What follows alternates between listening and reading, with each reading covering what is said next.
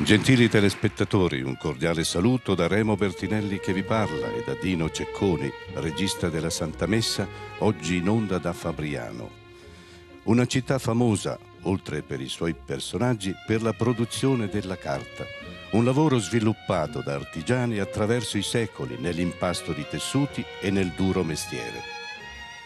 Quello che evidenzia la maestria di quest'arte è la filigrana, dove l'immagine, plasmata tra le fibre della carta, ha reso preziosa questa attività.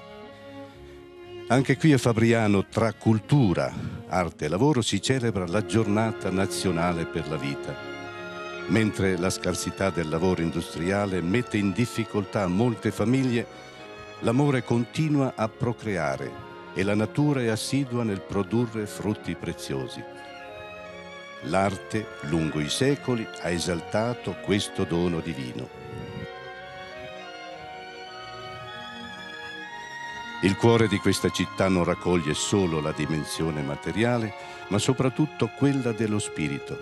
A Fabriano tre conventi di clausura danno ossigeno alla società. Chi si sente povero riscopre l'essenziale. Nel monastero, scuola di vita, la persona orienta tutta se stesso verso Dio. La vita ha sempre saputo conquistare luoghi all'apparenza impervi lungo le valli sinuose di questa terra marchigiana. Tra le sue rocce dimora l'aquila reale e nel grembo delle montagne la natura ha tenuto celata per lunghi millenni una cattedrale costruita silenziosamente dall'acqua con percorsi che conducono alla ricchezza del cuore. Mentre le grandi grotte esistevano già, senza che nessuno le avesse scoperte, dei ricercatori di Dio hanno trovato in questa gola, intorno all'anno 1000, la via della trascendenza e si sono rigenerati nello spirito. Uno di loro, San Silvestro di Osimo, maturò qui la scelta di generare una famiglia di monaci. Realizzato il suo progetto, su questa montagna eressero il monastero le spoglie del loro padre restano tutt'oggi come segno di costanza. Nello stesso periodo è vissuto un monaco ravennate, Romualdo, che dopo un lungo peregrinare con sosta a Monte Cassino continuò il suo cammino fondando numerosi eremi e infine a Camaldoli eresse il faro della spiritualità eremitica. Instancabile strumento di Dio, giunse in questa terra fabrianese e in Val di Castro, dove costruì il suo eremo e poi il monastero, terminando qui la sua vita terrena. Il suo corpo, dopo essere stato trafugato, fu portato a Fabriano, nella chiesa di San Biagio, nel 1481, dove ancora oggi è venerato. Questa chiesa, eretta dai monaci benedettini all'inizio del 1200, subì lungo i secoli vari danni, specialmente a causa di terremoti, ma fu sempre recuperata e dal 1600 è un monastero di monaci camaldolesi. Nel 1748 venne costruita la cripta che da allora conserva le spoglie del santo monaco eremita. La chiesa è dedicata a San Romualdo e San Biagio di cui oggi ricorre la festa. Ricordando l'esempio di questi maestri di vita, insieme celebriamo la liturgia. L'interno è accogliente, luminoso e prezioso. La sua architettura testimonia varie epoche, ma in particolare raccoglie la migliore espressione del tardo barocco marchigiano. Un prezioso organo callido di fine 1700 accompagna le lodi al Signore dei fedeli che con il battesimo entrano nell'assemblea. Un ricco fonte battesimale ricorda l'impegno di vita ad ogni cristiano.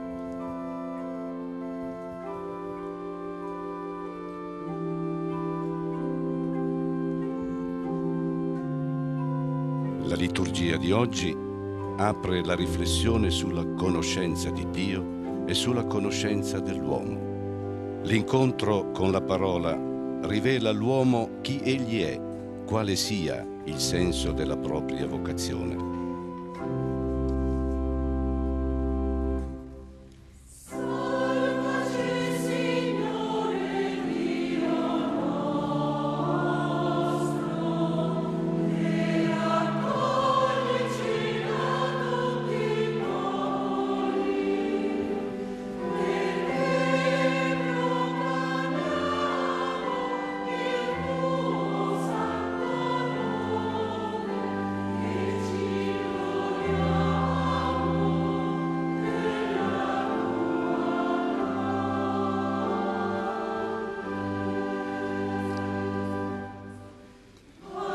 Presiede la liturgia Monsignor Giancarlo Vecerrica, vescovo di Fabriano Matelica. Concelebrano Monsignor Alfredo Zuccatosta, parroco della cattedrale di Fabriano. Don Alberto Castellani, parroco dei Santi Biagi e Romualdo. Il coro diocesano è diretto dal maestro Giuseppe Papaleo. All'organo il maestro Sauro Argaglia. Il servizio liturgico è dei ministranti della parrocchia della cattedrale.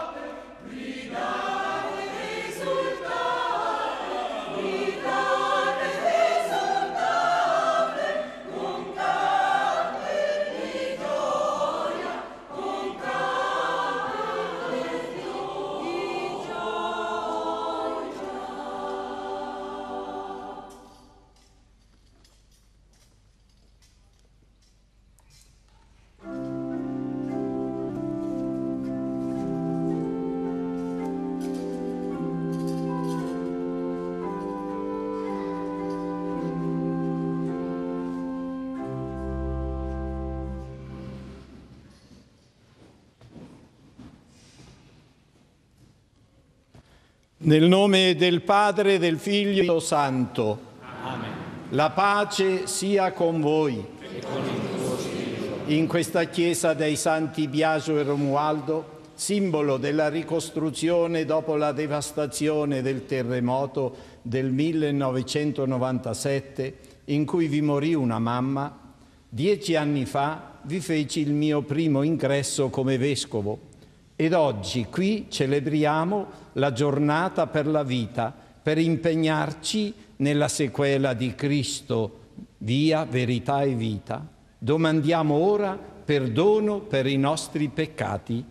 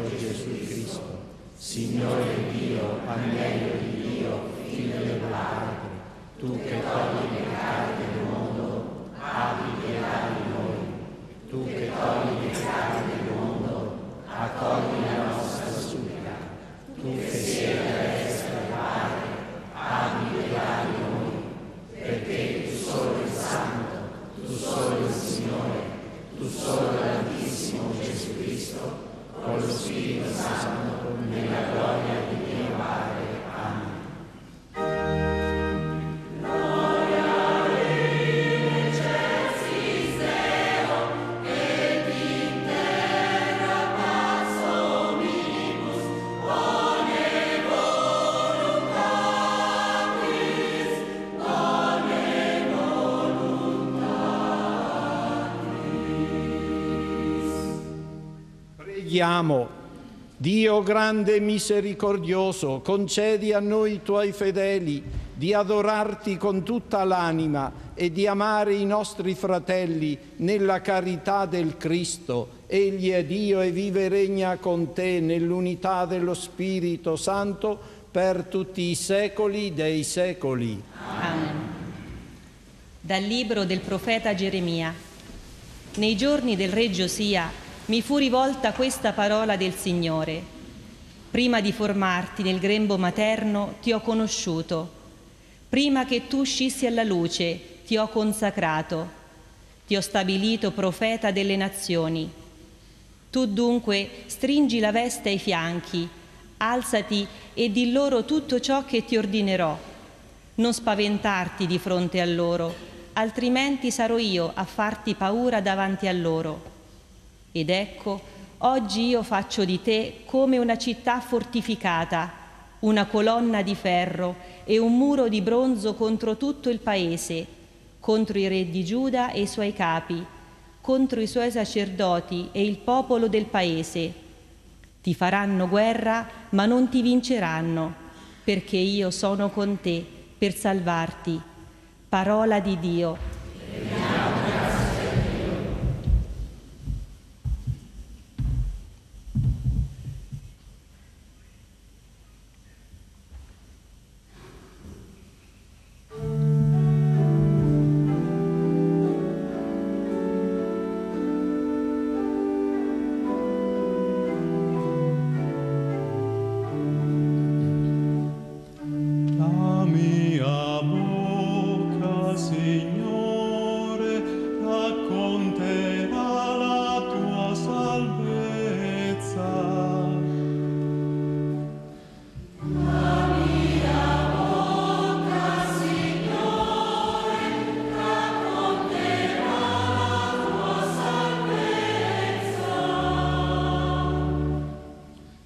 Te, Signore, mi sono rifugiato, mai sarò deluso.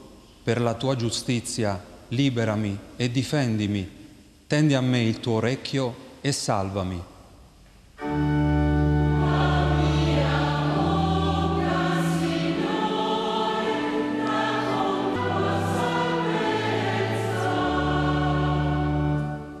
Sii tu la mia roccia, una dimora sempre accessibile hai deciso di darmi salvezza. Davvero mia rupe e mia fortezza tu sei, mio Dio, liberami dalle mani del malvagio.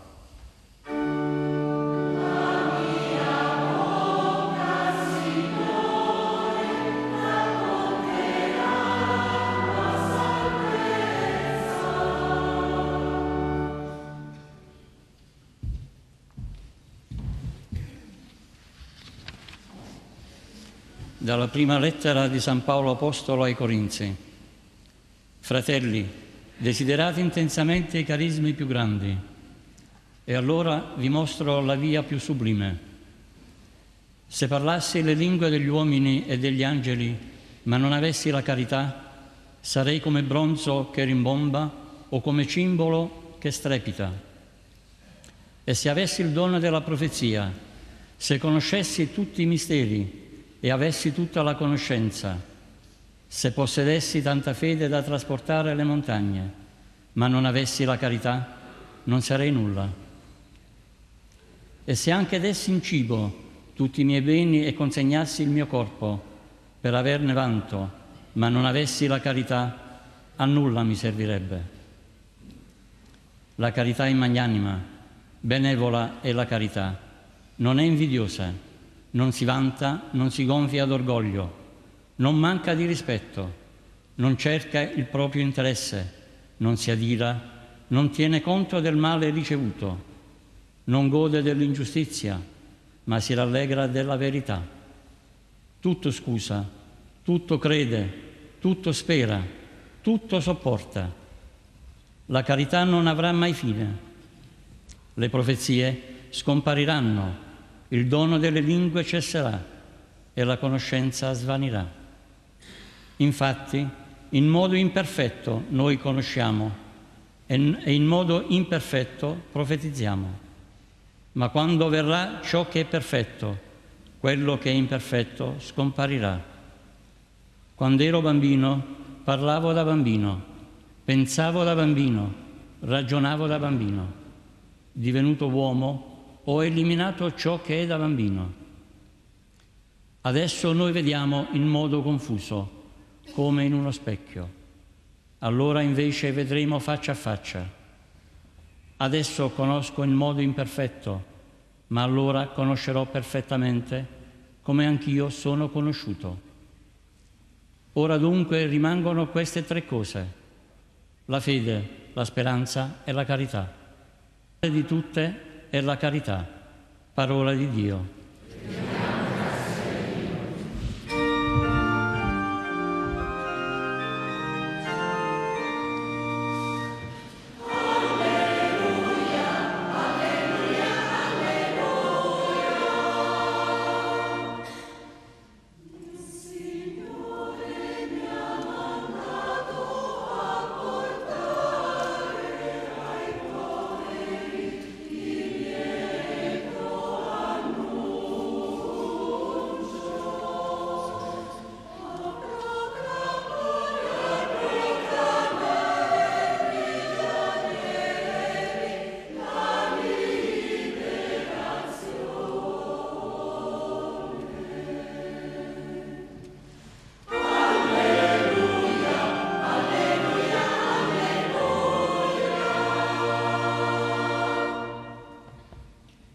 Signore sia con voi. Dal Vangelo secondo Luca.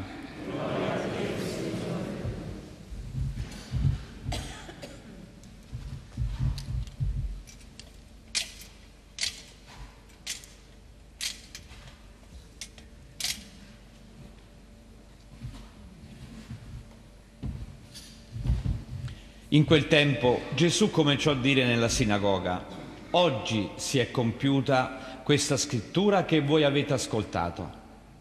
Tutti gli davano testimonianza ed erano meravigliati delle parole di grazia che uscivano dalla sua bocca e dicevano, non è costui il figlio di Giuseppe? Ma egli rispose loro, medico, cura te stesso. Quanto abbiamo udito che accadde a Cafarnao, fallo anche qui, nella tua patria. Poi aggiunse, in verità io vi dico, Nessun profeta è bene accetto nella sua patria. Anzi, in verità, io vi dico, c'erano molte vedove in Israele nel tempo di Elia, quando il cielo fu chiuso per tre anni e sei mesi e ci fu una grande carestia in tutto il paese. Ma a nessuna di esse fu mandato Elia, se non a una vedova Sarepta di Sidone C'erano molti lebrosi in Israele al tempo del profeta Eliseo, ma nessuno di loro fu purificato se non Naaman il Siro. All'udire queste cose, tutti nella sinagoga si riempirono di sdegno, si alzarono e lo cacciarono fuori della città e lo condussero fin sul ciglio del monte, sul quale era costruita la loro città, per gettarlo giù. Ma egli, passando in mezzo a loro, si mise in cammino. Parola del Signore.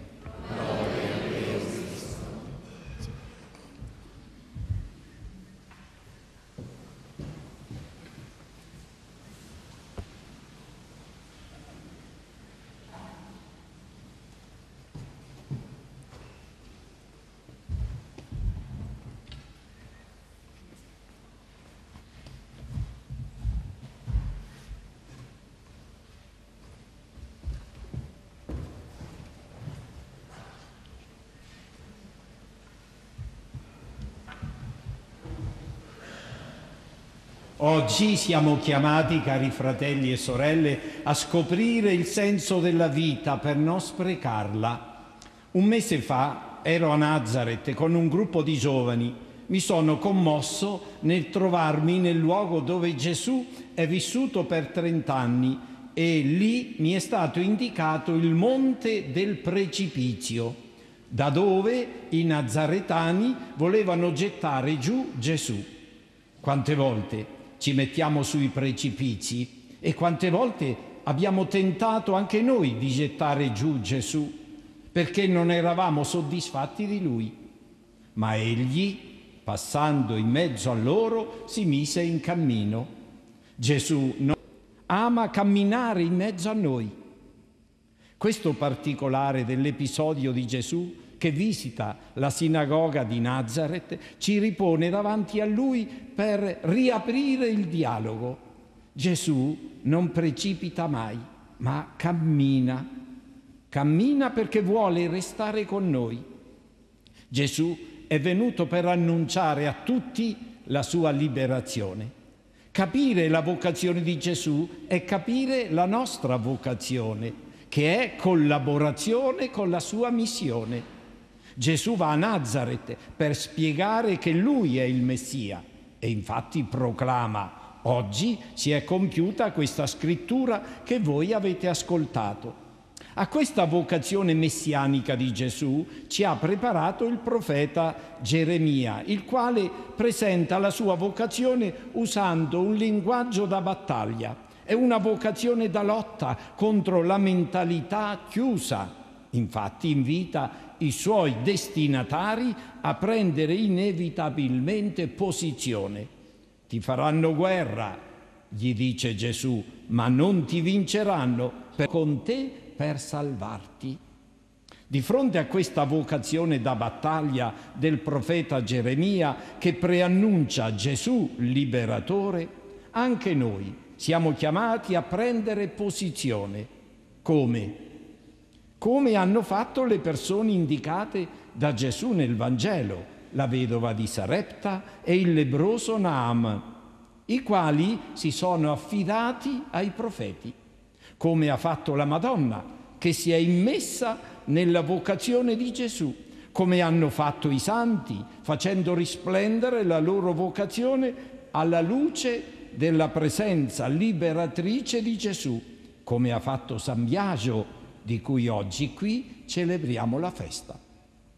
Ogni domenica, carissimi, Ogni domenica nelle nostre chiese accade lo stesso avvenimento vissuto nella sinagoga di Nazareth. Gesù annuncia la sua liberazione e noi siamo chiamati a rispondere con la nostra vocazione, che è il sì a Lui che ci chiama a seguirlo, come hanno fatto la Madonna e i santi. Ogni domenica ci troviamo di fronte a questa domanda gettare Gesù dal precipizio della vita o accoglierlo? Io sono solito dire che nelle famiglie la domenica non è giorno di silenzio per dormire, ma è giorno di impegno caloroso e vivace di tutta la famiglia per andare a incontrare Gesù nell'Eucaristia domenicale. Così deve accadere anche quando qualcuno ha bisogno di noi, come il tema della carità di San Paolo ci ha descritto. Allora è Gesù che in quella persona bisognosa ci viene incontro. E c'è la domanda, come accolgo la vita dell'altro che rappresenta Gesù per me oggi? O generare la vita vince la crisi indetta dai vescovi italiani. Per affrontare la vita con le sue crisi, come l'attuale situazione della mancanza del lavoro, non possiamo non tener conto della presenza di Gesù, unico liberatore. È Lui che ci mette in questa vocazione di vera liberazione. L'ostilità dei concittadini nei confronti di Gesù non è in grado Egli passa in mezzo a loro e si mette in cammino.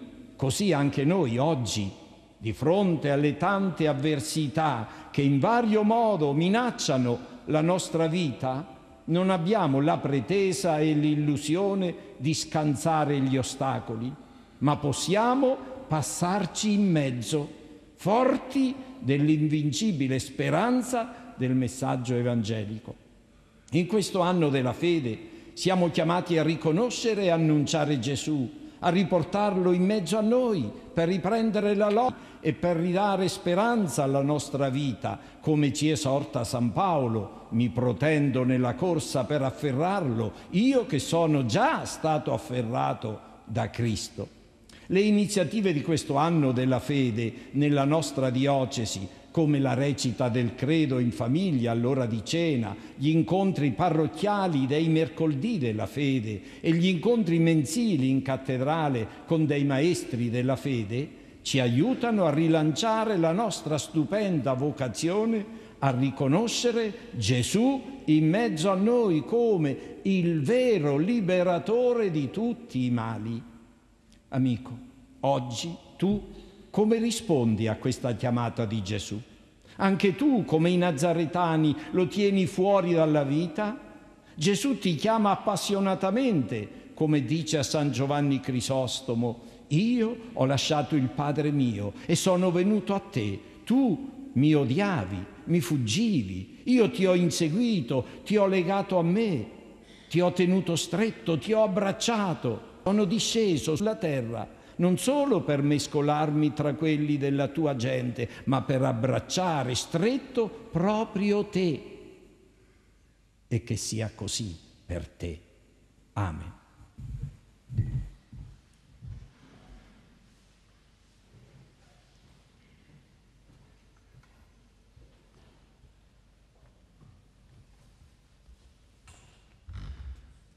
Credo in un solo Dio, Padre Onnipotente, Creatore del cielo e della terra, di tutte le cose visibili e invisibili. Credo in un solo Signore Gesù Cristo, Figlio, nato dal Padre prima di tutti i secoli, Dio da Dio, luce da luce, Dio vero da Dio vero, generato non creato della stessa sostanza del Padre per mezzo di lui tutte le cose sono state create, per noi uomini e per la nostra salvezza discese dal cielo e per opera dello Spirito Santo si è incarnato nel seno della Vergine e si è fatto uomo. Fu crocefisso per noi sotto Ponzio Pilato, morì e fu sepolto e il terzo giorno è risuscitato secondo le scritture è salito al cielo, siede alla destra del Padre e di nuovo verrà nella gloria per giudicare i vivi e i morti e il suo regno non avrà fine. Credo nello Spirito Santo che è Signore dalla vita e procede dal Padre e dal Figlio e con il Padre e il Figlio è adorato e ha parlato per mezzo dei profeti. Credo la Chiesa, una, santa, cattolica e apostolica professo un solo battesimo per il perdono dei peccati e aspetto la risurrezione dei morti e la vita del mondo che verrà. Amen.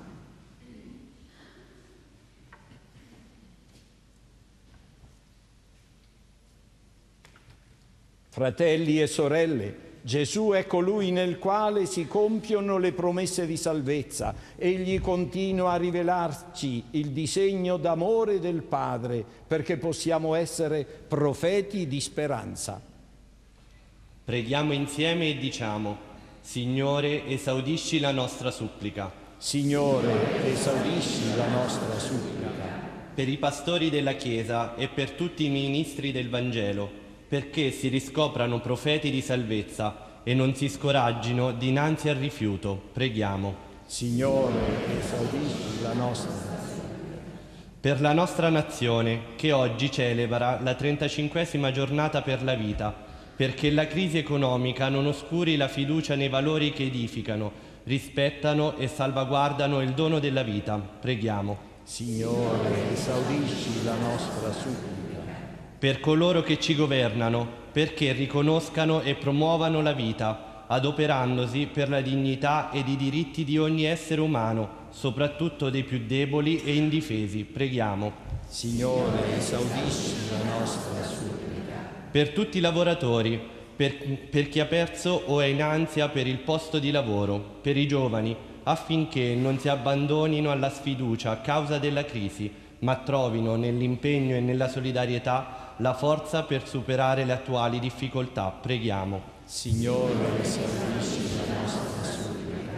Per tutti noi, perché sappiamo superare divisioni e conflitti, esercitando l'insegnamento della carità, l'unico che può donare un senso alla nostra vita. Preghiamo. Signore, salvisci la nostra supplica.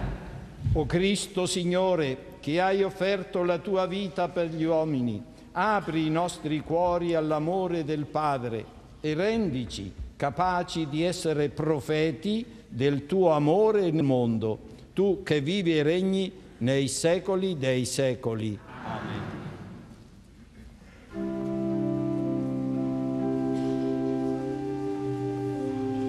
San Paolo sottolinea che nella carità l'uomo rivela se stesso. L'amore si concretizza nella prassi della carità. Ciò che abbiamo ricevuto lo si valorizza donando. Ogni Eucaristia ci fa partecipare al gesto più grande dell'amore, Cristo che si dona per noi. Il nostro partecipare richiede donare. Questo è il nostro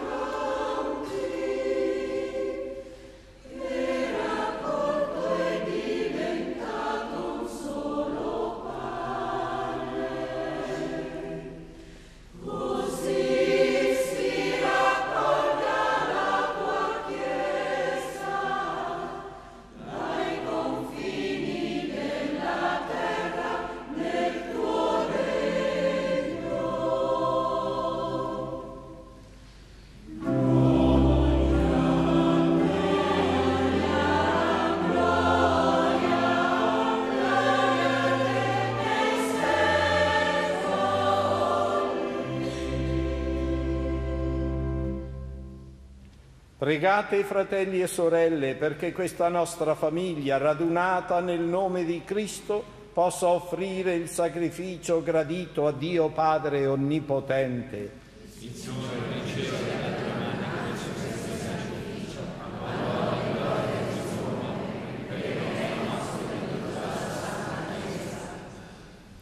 Accogli con bontà, o oh Signore, questi doni che noi, tuo popolo santo, deponiamo sull'altare e trasformali in sacramento di salvezza per Cristo nostro Signore. Amen.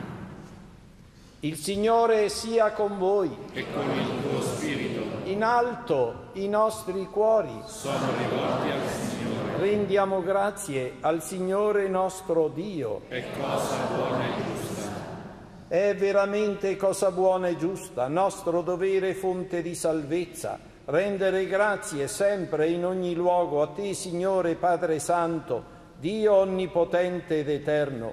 Abbiamo riconosciuto il segno della tua immensa gloria, quando hai mandato il tuo Figlio a prendere su di sé la nostra debolezza. In lui, nuovo Adamo, hai redento l'umanità decaduta e con la sua morte ci hai resi partecipi della vita immortale.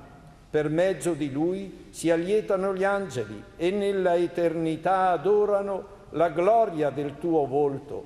Al loro canto concedi, o oh Signore, che si uniscano le nostre umili voci nell'inno di lode.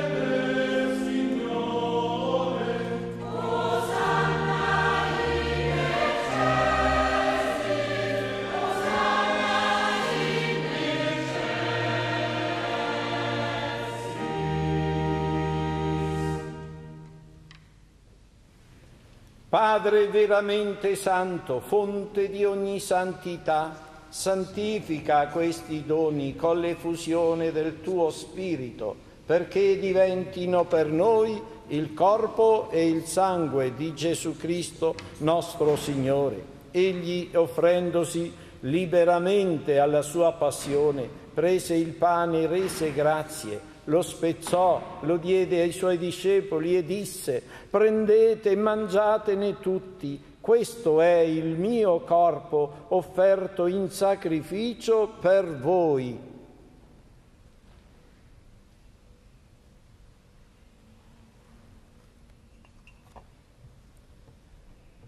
Dopo la cena, allo stesso modo, prese il calice e rese grazie, lo diede ai suoi discepoli e disse, prendete bevetene tutti, questo è il calice del mio sangue per la nuova ed eterna alleanza, versato per voi e per tutti in remissione dei peccati. Fate questo in memoria di me.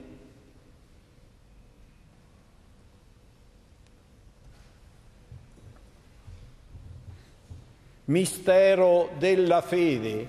Annunciamo la tua morte, Signore, proclamiamo la tua risurrezione nell'attesa della tua venuta. Celebrando il memoriale della morte e risurrezione del tuo Figlio, ti offriamo, Padre, il pane della vita e il calice della salvezza e ti rendiamo grazie per averci ammessi alla tua presenza a compiere il servizio sacerdotale ti preghiamo umilmente per la comunione al corpo e al sangue di Cristo, lo Spirito Santo ci riunisca in un solo corpo. Ricordati, Padre, della tua Chiesa diffusa su tutta la terra e qui convocata nel giorno in cui il Cristo ha vinto la morte e ci ha resi partecipi della sua vita immortale. Rendi l'amore in unione con il nostro Papa Benedetto, il nostro Vescovo Giancarlo e tutto l'ordine sacerdotale. Ricordati dei nostri fratelli che si sono addormentati nella speranza della risurrezione e di tutti i defunti che si affidano alla tua clemenza. Ammettili a godere la luce del tuo volto. Di noi tutti abbi misericordia. Donaci di aver parte alla vita eterna, insieme con la Beata Maria, Vergine e Madre di Dio, con gli Apostoli e tutti i santi che in ogni tempo ti furono graditi, e in Gesù Cristo tuo Figlio canteremo la tua. Per Cristo, con Cristo e in Cristo, a te Dio Padre Onnipotente, nell'unità dello Spirito Santo, ogni onore e gloria per tutti i secoli dei secoli. Amen. Guidati dallo Spirito di Gesù, nostro liberatore, e illuminati dalla sapienza del Vangelo, osiamo dire, Padre nostro che sei nei cieli, sia santificato il tuo nome, venga il tuo regno, sia fatta la tua volontà, come in cielo, così in terra. Dacci oggi il nostro pane quotidiano e rimetti a noi i nostri debiti come noi rimettiamo ai nostri debitori e non ci indurre in tentazione, ma liberaci dal male. Liberaci, o oh Signore, da tutti i mali. Concedi la pace ai nostri giorni e con l'aiuto della tua misericordia vivremo sempre liberi dal peccato e sicuri da ogni turbamento, nell'attesa che si compia la beata speranza e venga il nostro Salvatore Gesù Cristo. Tuo è il regno, la potenza e la gloria nei secoli. Signore Gesù Cristo, che hai detto ai tuoi apostoli, vi lascio la pace, vi do la mia pace, non guardare ai nostri peccati, ma alla fede della tua Chiesa, e donale unità e pace secondo la tua volontà, tu che vivi e regni nei secoli dei secoli. Amen. La pace del Signore sia sempre con voi. E con il tuo spirito.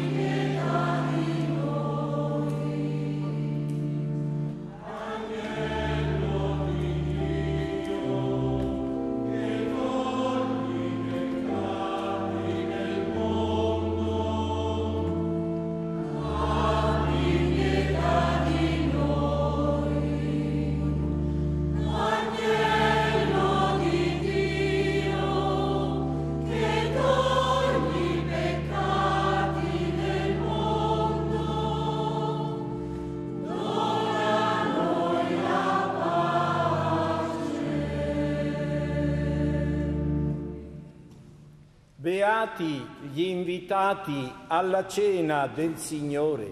Ecco l'agno di Dio che toglie i peccati del mondo. O Signore, non sono degno di partecipare alla mensa, ma di soltanto una parola e io sarò salvato.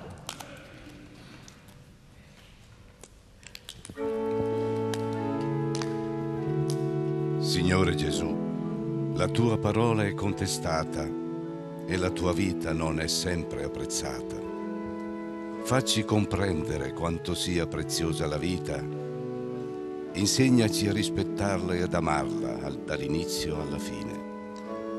Donaci col tuo spirito la forza di accettare e affrontare le sofferenze e i problemi della vita quotidiana e rendici sensibili verso chi è nel bisogno. Benedici le nostre famiglie e riportale al luogo sacro di vita. Benedici quei genitori che desiderano figli. Facci amare e non giudicare chi con sofferenza, solitudine e confusione non sente più la vita come dono. Signore, aumenta la nostra fede e facci sentire che tu sei la vita.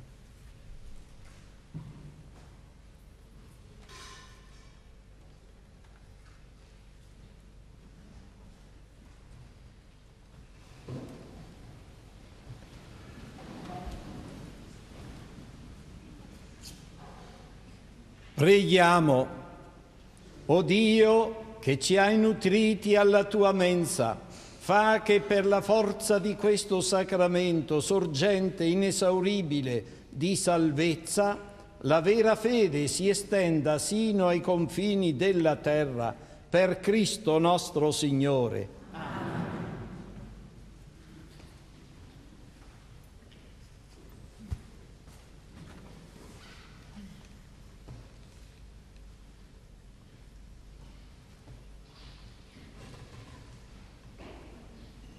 Con il desiderio di accogliere sempre Gesù, che è la nostra vita, per accogliere la vita di tutti, vi benedico di cuore.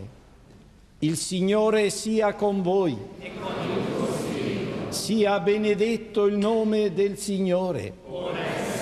Il nostro aiuto è nel nome del Signore. Vi benedica Dio Onnipotente, Padre e Figlio e Spirito Santo.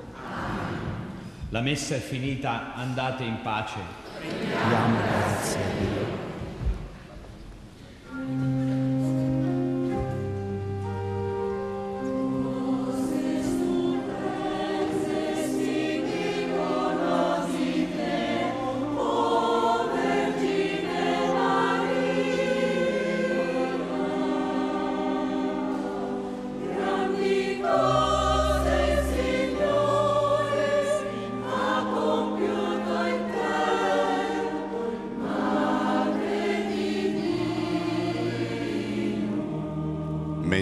i fedeli si avvicinano al vescovo per ricevere la tradizionale benedizione della gola, in occasione dell'odierna festa di San Biagio, terminiamo questa liturgia portando con noi un breve messaggio dei vescovi italiani per questa giornata per la vita. Donare e generare la vita significa scegliere la via di un futuro sostenibile per l'unità per un'Italia che si rinnova.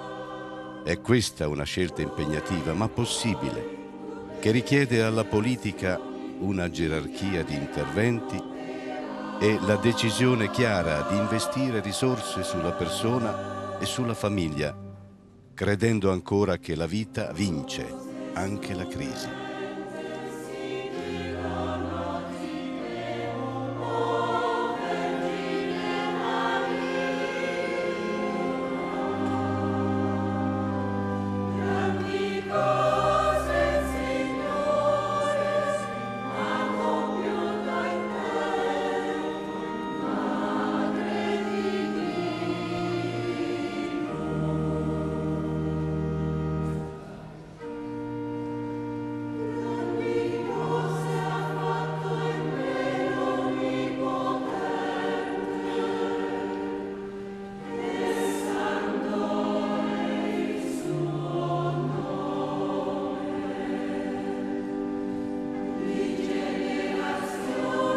Caro saluto a tutti voi che ci avete seguito, in particolare a voi malati, agli anziani nelle case di riposo, a voi che siete nelle carceri e agli emigrati vicini e lontani. Vi salutano il regista Dino Cecconi, il responsabile del programma Antonio Ammirati, l'aiuto alla regia Franco Ilardo, Remo Bertinelli che vi ha parlato e la squadra RAI Esterna 1 Bologna. Vi diamo appuntamento per domenica prossima, 10 febbraio, con la Santa Messa da Santa Maria Assunta in Trevi, nel Lazio. La linea ritorna ora a Rosario Carello per la seconda parte della rubrica A sua immagine. A tutti voi un augurio di una buona domenica.